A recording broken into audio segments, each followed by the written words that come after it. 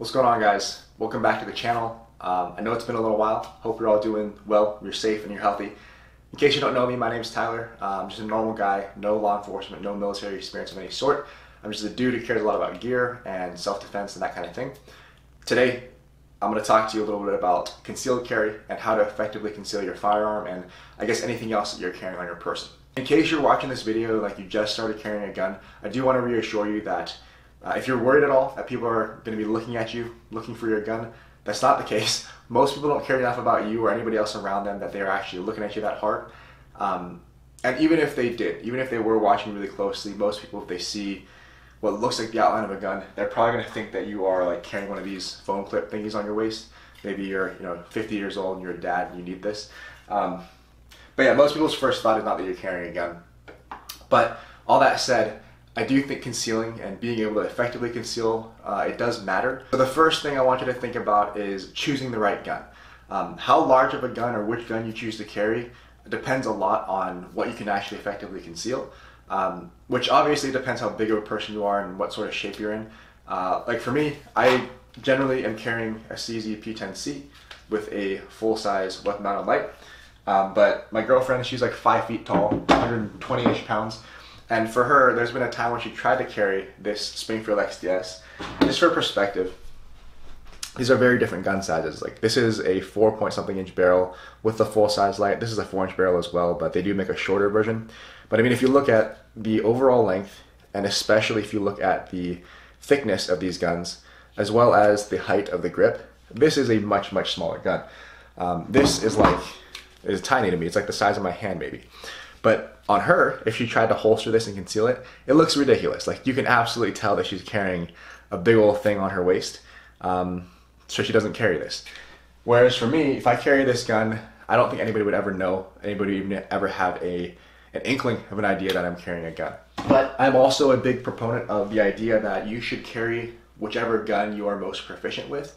So for me, if I'm shooting a bunch of different guns at the at the range in the same day, I know for sure I'm a little bit slower uh, and a little bit less consistent with a subcompact single stack than I am with a full size, effectively a full size double stack gun. Not only that, but this does carry 15 plus one of the gun, and then I can carry um, 18 round spare mags as well. So for me, this is the system that I choose to carry because I can conceal it. But if I were much, much smaller, I probably wouldn't even be considering this. Something else to consider is that if you are carrying inside the waistband, which I'm assuming most of you probably will, uh, the dimension that matters the most is going to be the uh, length or the height of your gun from the bottom of your magazine to the top of your sights, or in this case, the top of the optic. That length is going to be the one that is like all of this area is what's sticking up above your waistline. Uh, is what you're what you're basically going to struggle to conceal. So that thickness there, how wide that is, and this length here matters a whole lot. And that's why, you know, generally speaking, a shorter gun, much shorter this way, and a slimmer gun, that's gonna be easier to conceal. If you can find something like this, that might be your starting place. Length, overall length matters a whole lot less. That is why guns like this, the 4-inch XDS and the P365 XL, the guns with the longer slides and the shorter grips have become sort of popular, is because most people carrying inside the waistband can conceal full length no problem. Hell, a lot of guys even carry you know X300, which comes out to like here uh, on their Glock 19. So like the effective length is the same as a Glock 34 or a five inch gun. But it doesn't matter because all of all of this is inside your pants. Nobody's ever gonna see that anyway.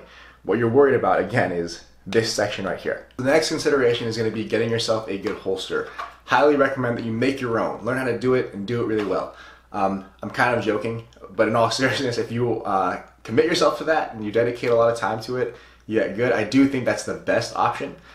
If not, check out like T-Rex Arms, Last Line of Defense, Tier 1 Concealed. They all make great products. Uh, there's a bunch of holster companies out there, but you can expect to pay probably upwards of $150 for a setup like this that's going to have a space for your gun and maybe a spare mag as well. Um, if you are going uh, to look for a holster, a couple of things, a couple of mods to look out for. Um, one is going to be some sort of claw. So they have this Raven concealment. They also have the smaller claws kind of come straight up, or some of them like uh, Last Line of Defense, they have an integrated claw kind of thing there. Uh, either way, though, you want something on this end of the gun to essentially what that's going to do is going to turn the gun in toward your body, turn the grip in toward your body so this doesn't stick out so far. Imagine how if I didn't have that claw there, that gun is going to kind of stick out this way. So essentially, that'll holster. You can kind of see how if that kind of sticking out away from my body or it's kind of running parallel, you can see just how much that prints, especially with a white shirt. Uh, a lot of holster makers do plastic clips, which are fine, but they are quite a bit thicker. So if you look at these, I've got metal clips on mine. That's all of nothing. Whereas a plastic clip is going to be like four times as thick as this. And those plastic clips, they do print under your shirt. So I want you to think about that. Even if your holster maker doesn't use metal clips, you can go ahead and get some yourself. I get these, by the way, at holstersmith.com. I'll put a link somewhere. I don't get any money from that, by the way. So just trust me, they're, they're a good choice little tab on the bottom in there that hooks onto the bottom of your belt. So you never have to worry about your clips coming off. And again, they do conceal really well. Uh, one more thing that I do, um, or if you're building your own holster that I would encourage, is for you to space your metal clips. So down at the bottom here, you want these, this part of your clip to be very flush to the holster. Up at the top, you want a little bit of extra space. What that's gonna do is it's gonna encourage, you can imagine your belt being flush, right? It's gonna encourage your gun to tip back into your body a little bit. The last modification, or the last piece here, which I think is probably the most important, is to have a wedge of some sort. You'll see on my holster, I actually leave extra kydex, so I have this kind of like loop looking thing, show you on the back. I have all this extra kydex material that originally before I formed this, it came all the way down to like here, and then I fold it up and back. And basically I'm making a wedge shape on the back side. So on the, uh, the top, the slide section, um, I have a quite fat wedge right there and then on the bottom section where my light is, it actually tapers down to be quite thin. So the idea, if you want a 360 of this, it's kind of hard to tell in video, but the idea is that that wedge in combination with the clip, in combination with my spacers here, it's going to tip the gun not only backward toward my body, but also inward like this. So the grip, again, the part that you're going to struggle to conceal, this is basically tucked in to my body as far as it can be through the combination of the claw, the clips, and my wedge. Circling back, in case you're not making your own holster or assuming that you're not, Tier 1 has kind of a wedge pack, like a foam wedge system that they use. I've not used that myself, but it's an interesting idea, kind of the same idea as this. I don't like that as much though because it's obviously it's a piece of foam that you're essentially taping onto the back of your holster. Kind of seems like a cheap solution to me. Um, there's also, I think it's Raven Concealment, they do kind of a similar thing as well in rubber that you would have to bolt onto the back. Again, kind of a weird solution, but if you don't have any other choice, that's not a bad, uh, a bad thing to try. Last thing for the holster is if you are going to carry a spare mag at all, I strongly encourage that you carry it here. Um, the main reason is because you can imagine, I'm gonna flag myself, it's an empty gun so don't freak out. You can imagine if my torso, my belly is like right here, and the gun is tipped this way as it would be. I have all this extra space in here anyway. All right, we'll do it this way, up close and personal you can see if I had just the gun there and there was no spare mag, I have all this extra space. I'd have this huge gap here anyway. Might as well put something there. Another good reason to keep your spare mag as part of the holster inside your belt is because you always know that it's there. So I, know they make things like the Neo Mag. I know they make like different separate um, separate mag holders that you can clip into your belt as well. I don't like those as much. Like they do allow you a little bit more freedom, but when you are going to grab that mag, if it's always on your holster in the same spot, it allows you to be a lot more consistent than if you have to like reach to your pocket or a different pocket in a different pair of pants, or if it somehow turned itself a little bit. You don't have to worry about any of that if that is integrated into your holster. Next thing on the list is getting yourself a good gun belt. I currently and have been for the past couple of years wearing a have been wearing a Blue Alpha Gear hybrid EDC belt. This one has that AustriAlpin buckle, like a lot of them do, the kind of clicky type buckle. Um, 175 width here, 1.5 on this side, so it's smaller on this end, which is made so you can thread it through all your belt loops just fine without having to undo the belt. It's got that little Velcro closure so you can resize it as needed. Um, made out of nylon, and it's kind of floppy now after two years, but uh, it was quite a bit stiffer when I got it, and if you got a new one, I'm sure it would be quite stiff as well. But I don't mind having a little bit of flex. Uh, main points about this, one is um, if you do wear your buckle like this, or I guess any buckle for that matter, you probably want to offset that. So for me, I wear this buckle all the way off on the side, so it's like roughly here, which means that the part that is on the front of my body, where my holster clips are going to be, it's completely flat. Um, I'm doing that basically so that that buckle doesn't add extra width on top of my gun. I mean, imagine how much more thickness I've just added by putting a buckle on top of that. Another thing to consider is possibly, I don't know if everybody wants to do this, but I wear my buckle inside out or wear my, my belt inside out. So normally you would buckle it this way, uh, and doing so, you'd have this real sharp edge at the back of the male end, and that sharp edge is gonna print. So instead, flip mine inside out, and instead what we get is kind of a smooth edge with the nylon instead on both sides. So something to think about. I know that those ratchet type belts, like Kore makes ratchet type belts. There's a bunch of different brands nowadays. Um, those systems are really cool. They're very comfortable. They're really easy to adjust if you eat a bunch or if you, uh, I don't know, you get skinnier one day. They're really easy to adjust, super comfortable, very reinforced. So they're not going to wear out over time like this might. But the one thing I don't like about those buckles, I have one. I don't have one with me. I'll put a picture up somewhere. But the buckle is really big. It's really big and it's really long, so it's harder to conceal. Um, I know they made a new version recently with a supposedly smaller buckle, so I might try one of those out in the future, um, but possibly something to look into uh, if you want to have a different option that's not something like this. No matter what you pick, just make sure that you have a gun belt that is sturdy enough that it's going to hold up the weight of your gun and that you can hopefully offset your buckle so that it doesn't print on top of your holster. The next thing to consider is your outfit. Uh, when you're going outside of your house, I mean, when you're at home, do whatever you want. Honestly, when you're outside, do whatever you want as well. These are just suggestions. But you should probably avoid wearing things that are too tight or even slightly sheer. If you're wearing sheer clothing as a man, I'm not really sure if that's the best choice, so might want to check on that yourself. Um, but if you do wear something that's somewhat tight fitting, like I like my shirts to be a little snug, but I want them to be tight here in this area. I don't want them tight down here. Obviously, if it were tight, you'll be able to see the gun because it's going to pull the fabric in toward the gun itself. Um, now, obviously, you know, if it's winter time where you're at, or if it's just really cold for whatever reason, you're wearing like multiple layers, it's very, very easy to hide a gun. So I guess we wouldn't really have to worry about what you're wearing as much. Uh, another tip to consider is that lighter colors do make it easier to see the shadows, if there are any shadows um, of the, the shirt getting stuck on your gun or whatever. So white is a harder color to conceal with. Black tends to be the easiest if that matters to you. Another thing worth mentioning here is that the drape of your shirt matters a lot. So when I say drape, I'm talking about how much like overhang you have. So if your chest comes out however far it does, uh, and your shirt is not like really aggressively tapered, you're gonna have some extra fabric down here. So all of this extra room from my, my stomach out to my chest, only might, that might only be like an inch, maybe two inches, I don't know. But that's plenty of room now for my gun to hide in. So if I put something on my shirt, all that extra space for my gun to exist in without pushing out past the, uh, the farthest part of my chest. And if you're sitting there thinking to yourself, well, I'm not shaped like that, that's totally fine. Um, but something I want you to think about at the risk of me sounding like a huge dick, so please, I hope I don't get crucified for this, but I do think that being in good physical shape is a big deal.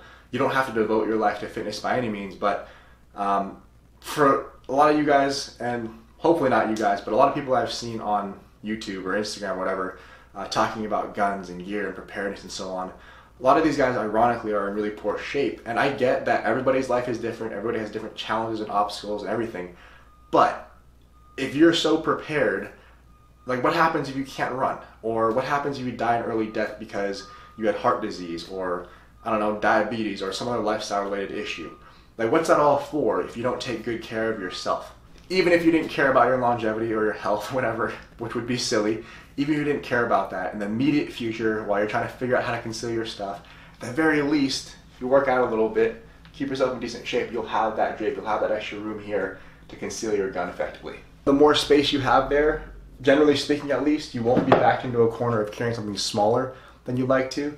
If you have enough room there, then hopefully you can size up to something like a compact or a full-size gun, maybe a spare mag as well. But basically, it just gives you more options where, of course, you can still carry a smaller gun in that amount of space and it'll conceal really well. But you could also possibly carry something bigger or even something bigger than that and still get away with it just fine. Next thing that kind of goes into this is when you buy pants, I know a lot of people initially will tell you like size up, go like one, two, three inches up in your waist size. I think one inch might be reasonable, but two or three is way too much. Um, even with, I'm not wearing the belt right now, but even with uh, just the pants as they are. These pants fit pretty close to my body, and if I were to put a holster in there, I have plenty of room. Like I'm not stretching these out too much. I'm not sucking myself in or anything. You've got plenty of room in your pants unless you're wearing really really tight. Um, but you should have the room there. So I'd say at most size up one inch. If you do anything more than that, very likely what will happen, and I've done this myself, this is why I'm saying that, you'll have a bunch of extra fabric that's gonna get bunched up around your holster here. It's just gonna be more stuff to possibly print underneath your shirt. Best option would be if you can find a store that has like changing rooms or fitting rooms so you can test out those pants with your holster. If you do that, do it very carefully. Um, otherwise, a lot of times you can just have stuff shipped to your house, to order it online, have it shipped to you, try it on. A lot of companies nowadays offer free returns if it doesn't fit. Another way to think about the outfit thing is that you kind of want to blend in. Um, short story. Uh, last week, a couple weeks ago, Christina and I were at the store. We were waiting in line, and we look over to our left, and there's this dude wearing uh, like a Glock t-shirt, cargo shorts. Um, he has like some kind of like trail shoes on. He has this, uh, I don't know what you'd really call it, kind of like a man purse satchel type thing with patches all over it. He has a dedicated tourniquet holder on that. Um, he's wearing like an America hat and dude, like all due respect, wear whatever you want, but at the same time, me and Christine both, without saying anything, we look at each other, we're both like, oh, he's carrying a gun. Um, like we both knew. And that's fine. Like you're not breaking the law. It's just uh, at that point, like what's the point of concealing it if you're advertising to the world that you may be carrying your gun? Uh, my point being, my long-winded point being, just that if you can, you kind of want to dress in a way that is maybe more subdued. For me, shirts like this, I know this is not even that blatant, but shirts like this, like my cool gun stuff shirts, generally don't wear outside the house. I wear this at home when I'm making videos, uh, when I'm about to go to sleep, whatever. But generally speaking, I'll look more like this when I'm going outside. Um, I think that a more subdued or more neutral outfit can help you blend into most situations. So whether you are with your friends who wouldn't care anyway, or your family who wouldn't care anyway if they saw you were carrying a gun, or you were just out in the city, and if especially right now in today's political and social climate, if you live in a city, you have to go through a city where you know there might be protests or just people who are very aggravated about whatever. Uh, it helps to dress in a way where you can blend into almost any crowd. Last consideration is going to be slimming down your EDC. Like if you gather up all the things that you normally carry that you consider carrying on your person, you should ask yourself a few questions. How often do you use this thing? And if ever you needed it, how urgent or how important would that need actually be? So, for example, your gun, right? That's the one that we want to talk about most of the time anyway. Your gun, you're probably never going to use this. Um, I mean, we, we all hope that we never need to, right? But if you ever did need your gun, that would mean that you were in a pretty shitty situation. And if you didn't have it, it would be very high stakes. It would be very, very important. Um, so this is something that you probably don't compromise on. You carry this. I mean, if you're watching this video, if you carry it all or considering it, you probably should be carrying your gun all the time. This is not something worth skipping unless you're forced to because of the laws in whatever area you're going to. Um, another one that you might consider possibly skipping is the spare mag. I know I'm contradicting myself, but imagine, right, spare mag, you could carry this, and if you carry a holster like this appendix in front of your body, you have the room for it already. But for those of you guys who are carrying spare mags like in your pocket or something on a Neo Mag clip or just you know in one of your quote unquote mag pockets there, um, I do think that that sticks out a little bit, and especially with the Neo Mag, that's not very sneaky. Like you can see the top of the mag, you can see the clip itself. So that might be one thing worth skipping just because it prints a whole lot or it's very visible. Another possible consideration there is that that is extra weight. That's going to take up most of one of your pockets. Uh, most of us don't want to put a mag on top of our phone, so maybe maybe skip that. So I have this light. This is like a 2000 lumen Olight. Uh, M2R Warrior. Like this light a lot. It's rechargeable. It's a great light, but it's a little bit big. And even if I had one smaller, the thing that I always think to myself is I don't actually need this. When I do use a light, it's for like administrative stuff. Like, did I drop something in my car? Do I need to find that? Maybe I'm coming home late at night and I want to be able to see like my my lock on my door so I can get inside the house. But generally speaking, it's not a super urgent need. And in that case, most of us carry a phone, right? If you carry a phone, you have a light on your phone, you can use that and it's going to be just as good as that light you're carrying in your pocket for most things. One big caveat, I've heard people make this argument that uh, in most situations it's not legal for you to use your gun or your weapon mounted light to identify a threat. And that is true. Um, in my case, I kind of feel like I have the light here that I could use if I needed to if I feel like my life is in danger, I will draw my gun with the light on and do what I have to do.